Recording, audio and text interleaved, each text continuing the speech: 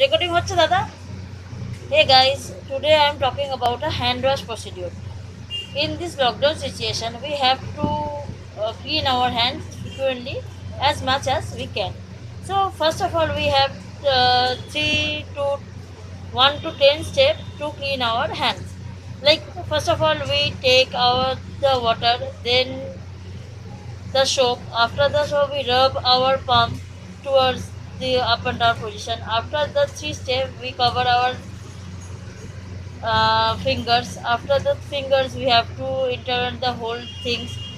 After six we rubbing our thumb closing to the right to left versa after that rinse with the rinse with the water dry through a single hand wash towel or use the towels frequently and wash your hands and do not touch your mouth and your nose.